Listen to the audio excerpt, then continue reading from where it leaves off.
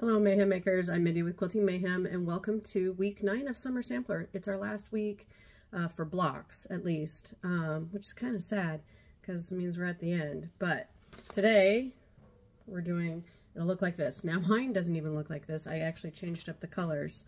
Um, but we're doing foundation paper piecing, which I love. I love the precision of it. You can get all kinds of funky angles and designs.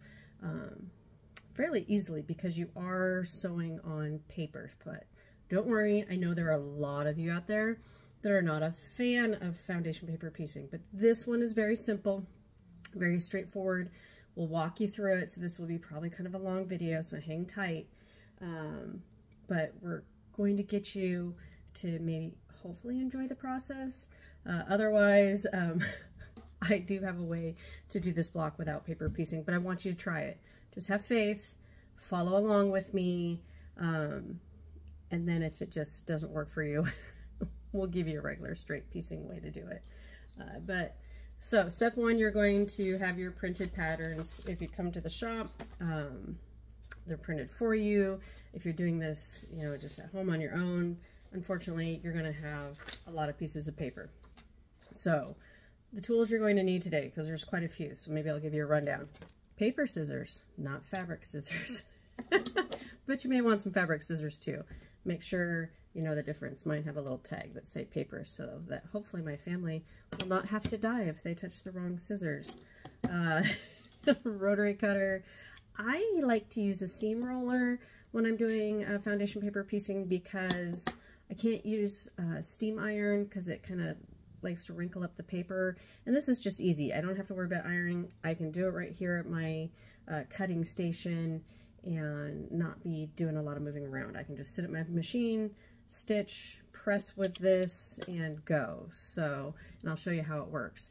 You need some scotch tape to put your pattern together and either glue stick or um, like flat flower pins just to get things started and definitely I'll be showing you how to use all of these. Now keep in mind for foundation paper piecing, you're always going to sew on the wrong side. So the printed side is always the side facing up that you're stitching on. The fabric will be always on the back, so you will have it kind of in a reverse format. Thankfully with this block, um, there's not a way to be confused. It's not going to mess anything up.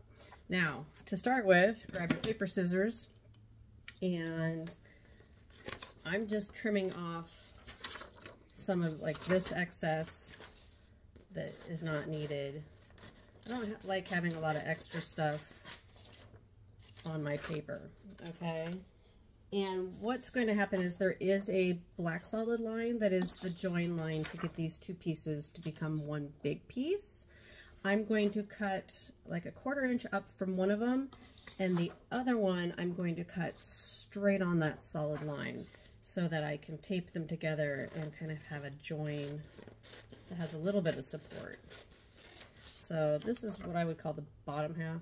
Once it's together, there is no real top and bottom because um, it goes both ways. Now you know why I named it the way I named it. Um, don't ask me how I come up with these names. Okay, so this is what I'm calling the top half, only because the print was starting at the top. This is the one I'm going to cut on the line. All right.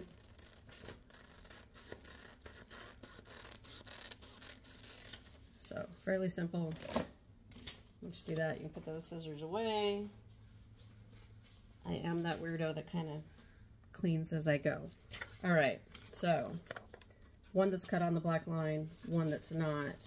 What I'll end up doing is taping, lining them up and taping them. So We'll move you over here. Because I cannot do it while holding it up. I just don't have that much skill.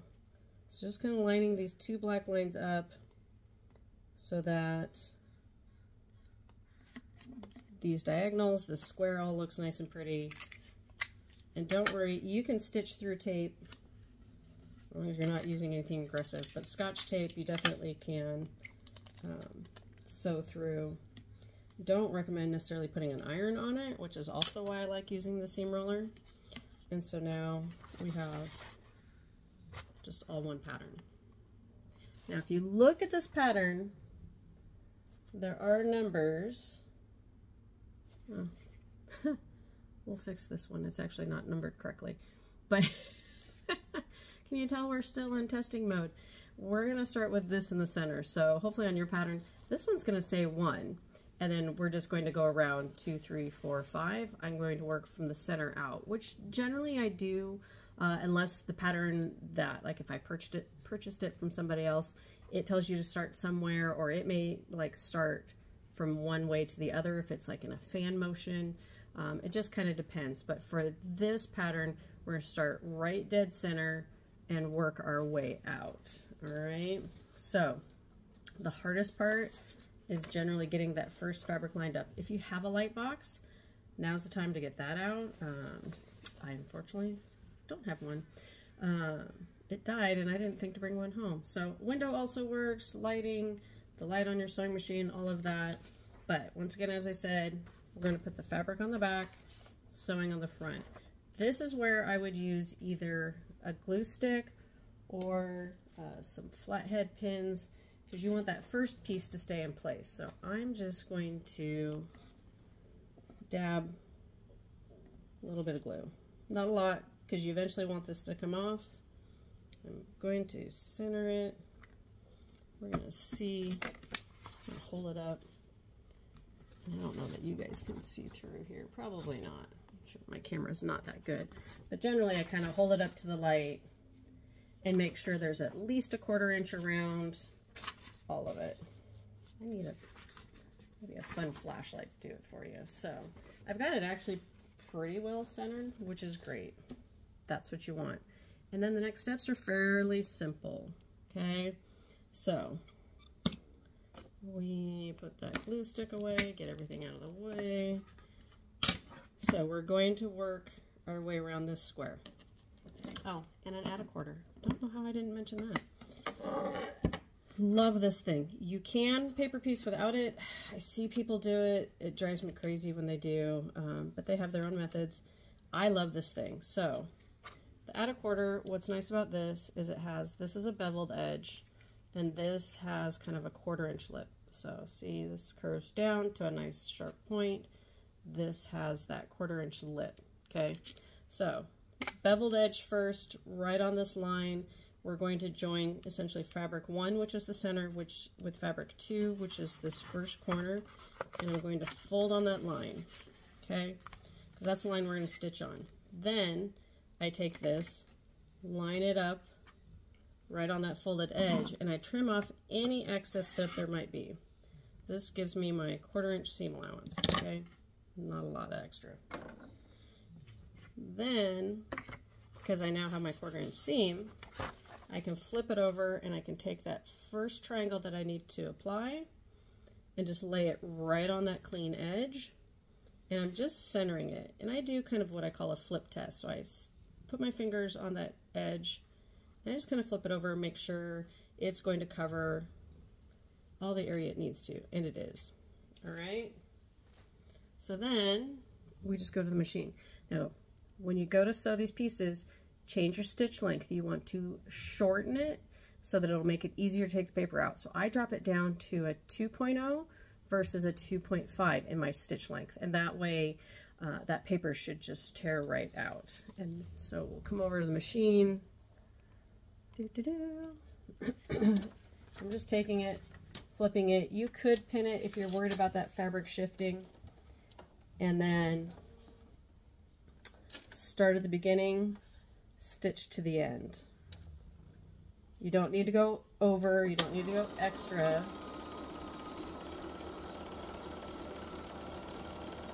And I don't uh, tack. So I don't do any extra tacking stitches or anything because generally they get added into other seams. Um, but you can if you're worried about it coming apart. If that makes you feel better, then go ahead and do little tacking stitches at the beginning and the end. Um, and then this is where I'm going to use a seam roller. So it's just going to flatten this. All right. And then we're just going to work our way around this square. So beveled edge. So now we're going to put these two corners. And notice I have a little more extra than I'd like. So this is where we're going to line up that quarter inch. We're going to cut all that extra off, throw it away, and add the next triangle.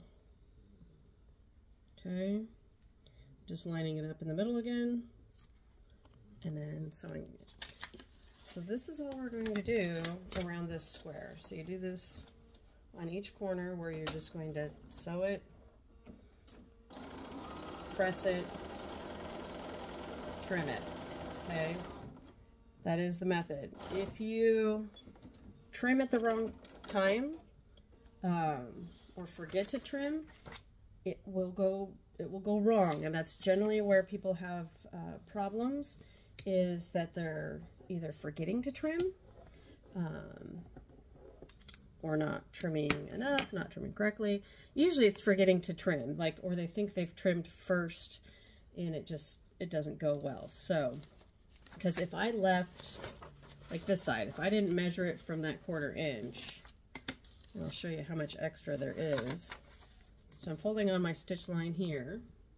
Okay, so this is my stitch line. This is how much extra. So there's like an eighth of an inch extra, like the last one we just trimmed. If I just went straight into sewing, because people get so excited, they want to just start sewing on the paper.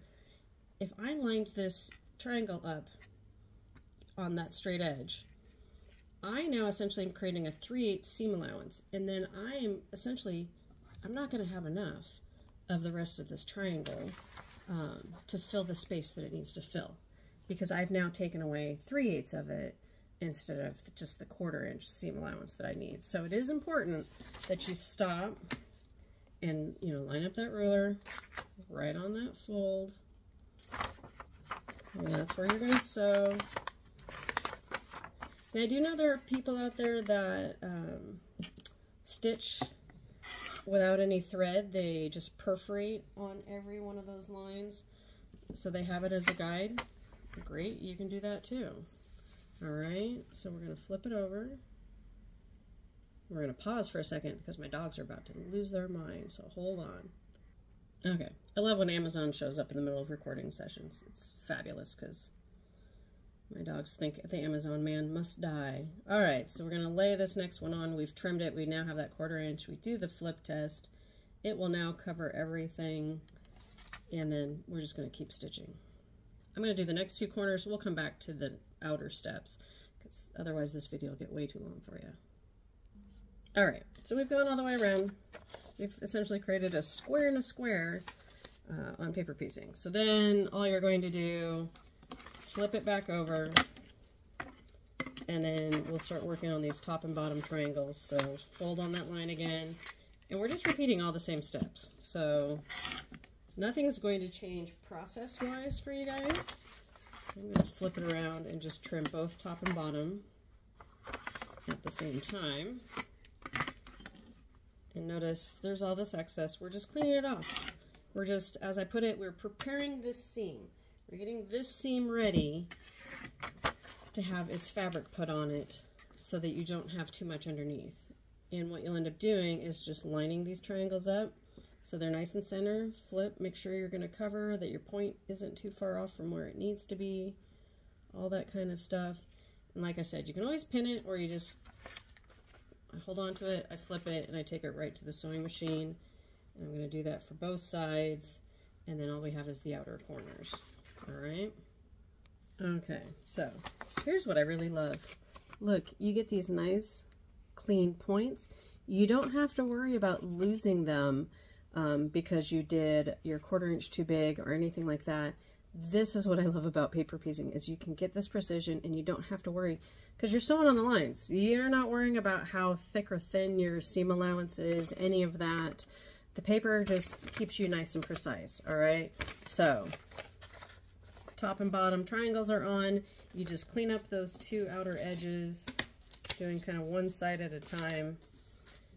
Same thing. You're going to fold, you're going to trim, then you're going to lay down your triangles and sew. Amazon's telling me my package is here. No kidding. All right. Same methods. We're just, we're going to keep doing the same thing over and over. Um, until it's done. So I'm going to add these last two triangles we'll show you what this one looks like. Um, and this is just the center piece of the square, and then we're going to do the two outer pieces. Thankfully, they're the same exact design, so it'll it'll be easy because you're just doing two of the same thing. All right, so be right back. All right, so the perfect thing occurred. I've been wanting to demo this and trying to figure out how I was going to. If you make a mistake, if you have a problem where a fabric that you sewed on is not covering the space you need, it's not big enough, whatever, um, please do not use a seam ripper to pull your threads out, okay? Because it's that really tight seam, you're gonna shred your paper, you're going to be frustrated. I was taught this uh, trick, seam ripping technique for paper piecing uh, by Judy Niemeyer instructors, and Judy Niemeyer teaches amazing foundation paper piecing, much higher level than these blocks. Uh, so this has been just a lifesaver for seam ripping in general. So uh, you take a rotary cutter with a good sharp blade. This one's maybe not as sharp as I would like, but here I'm going to show you because this is fun. Look at what I did. I got my fabric somehow flipped over, but nice and even, even. Don't ask how it did that. Um, and sewed it on itself. This is not going to work. So all you do is you kind of pull open at the beginning of one side of the seam and you're just going to take that blade and just kind of go right at those threads. See how quick and easy. And I'm keeping one hand kind of on the paper, one hand's pulling. So it's giving some pressure to those threads so that when that blade comes at it, it just pops those seams right apart and you're not actually cutting your fabric because your blade's nice and sharp and it's just getting right at the threads. Okay, and voila. A lot faster than using a seam ripper. My paper is still pretty much intact. It's just got a nice perforated edge, which will actually make it easier to tear in the long run. We're just going to pull those extra threads out. Uh, and start all over. So, that's what happens when you make a boo-boo and you want to take it out. So, I'm going to lay this guy back down and we're going to try this again. But otherwise, I've got everything else on and we're almost there. Okay, so the centerpiece is done. All that's left is trimming. So because we left extra edges out here, and I don't trim this paper until I'm done doing all my sewing. So in the beginning, that's why I did not trim down to that edge. I like to have it as a guide for trimming the block when I'm done. So I'm just going to lay down the straight edge of my a quarter right on that outer line and this is your quarter inch seam. So you want to make sure you're trimming on the outer line. And just trim off excess paper excess fabric. This is why my rotary cutter isn't as sharp as normal it's because I've been cutting foundation papers with it. Some people have a rotary cutter that's specially designated to be for foundation paper piecing like for cutting paper um, that's always, that's a good idea too. I know a lot of us have more than one rotary cutter. Um, mine's just being multi-purpose today. So we're just going to keep trimming these edges. And then we'll set this aside. We do not remove the papers until all the pieces are together. I like to just leave that stability in there, all right? So here's the middle. Now we're going to do the outer section. In the outer section, because we're doing two, I have one already done. So kind of looks like mountains. I love it. Very simple. Uh, in this one, I'm also going to have you start from the middle, work center, and then the two background pieces, and then two outer pieces. And so, since I've already showed you how to tape it, mine's already taped in all together. Start in that center. Just make sure you grab the correct triangles you need because there are some that are bigger than the others grab that glue stick, right? And I just see where those kind of, I'm staying just inside the line of where the fabric needs to be. And because I can kind of see the bottom of where it needs to be and the top, just trying to lay it out. And then I always do kind of a spot check. So I hold it up go, oh, uh, I probably could shift it just a little more.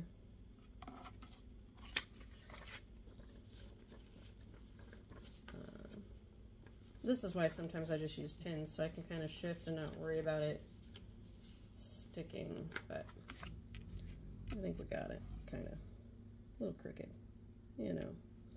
That's how my day is going. And I'm just going to add a pin just because I think my glue's being, I didn't do a whole lot of glue because I hate trying to undo paper and glue. If you leave it too long, it will stick nice and firm and then you have problems. So then, same thing, fold on that line. If there's any excess, trim it, which there is not. And then you're just going to take your triangle. Now this one, here's going to be the trickiest thing. Make sure your triangle is laid on here going the correct way for flipping. Notice how I just had it so the wrong side's up. A, you don't want that. You want to make sure you're putting your fabrics right sides together. And then this triangle, I have just barely a quarter inch over the diagonal line that you're going to see through the paper here. You could trace it, and some people do that too. Like if I traced this line, this is my triangle. I want to make sure this fabric is at least a quarter inch above that line right sides together and that it is going to flip the correct way. Okay, so it's going to cover that triangle. If I had done how I normally would have felt it needed to be, where the long side's there, it's not covering. It needs to come all the way out here. So do those, those checks, test them, make sure your fabric's going all the ways it needs to go, and don't be afraid to put just a pin between all the fabric and the paper so that you don't have that shifting. You don't have like I just had the flipping where then that extra part of the triangle tried to get sewn in with everything else. It tried to join the party. Don't be afraid. Add pins, whatever it needs, so that you can get from here to the machine sewn without issues. All right, so we're gonna add that on. I'll show you what it looks like. All right, so it's on, it's happy. We're going to press it. And we're just going to repeat for the other side. So, same concept. You can draw this line if that helps you. Just have an idea. I'm kind of adding it, just maybe it'll help you with this visual for the demo. Okay, once again, we're kind of 90 degree this way. This is a quarter inch above this line so that once it's sewn, it will flip and be happy, all right? And make sure your right side's together with your fabric, just like in quilting. Take to the machine, sew it, be right back. All right, so we got, you know, mountains. It's looking fun. If this bulk in here starts to bug you, these little dog ears, you can kind of trim them. Just trim that out of there with your fabric shears. Um, because you don't want a lot of extra. Later on down the road when you go to quilt it and you're wondering why that joint is so lumpy, it's because maybe you didn't take out some of that excess. So the last step is just these outer corners. We're doing the same things, all right? We're just laying it on the cutting mat. We're folding on the line. We're seeing how much excess there is. And we're going to trim that off. And I'm going to do both sides trimmed so that I can stitch them both at the same time. If you're new and you want to just keep doing one at a time, great. That works too. This one didn't have a whole lot of extra. And then we're going to add these last little purple triangles, just lining them up on either side, stitching them. And then we're done with these pieces. We'll show you how to put it all together. Be right back. All right, so now we have two matching sets. We just need to trim them up and then we're going to sew them on. Sometimes I put things away too early. So I just line up on that line, trim any excess off.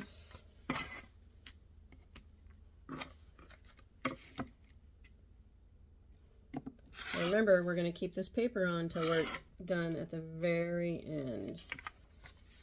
We want the stability of the papers to keep everything, especially because we've got quite a few bias edges now because of these triangles and how they're sewn on.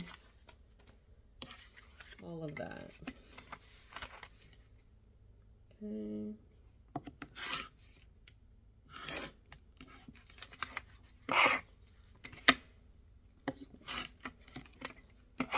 Trimming around. One thing about foundation paper piecing, it's very messy. You have a lot of paper at the end, so be prepared. All right, so two nice clean outer pieces, clean up your mess. Get that centerpiece back. Put it in the middle. My goodness, this station. Such a mess. All right. Lay these pieces the way they belong on here, right? Okay, so make sure you have your side pieces the way they should be. And it's going to be straightforward. Flip right sides together.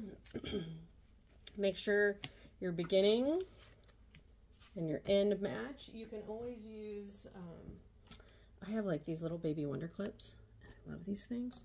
Um, sometimes I use these instead of pins uh, because uh, it's just easier than trying to pin through two pieces of paper and all that fabric and all that kind of stuff. I just put a little wonder clip on there. And then what's really nice is you're just going to sew on the line because that's your quarter inch. You don't have to, once again, worry about your quarter inch being too big, too small, too whatever, all right? So let me get these on. I'll show you what it looks like. All right. So here we go. I know this is kind of a long video.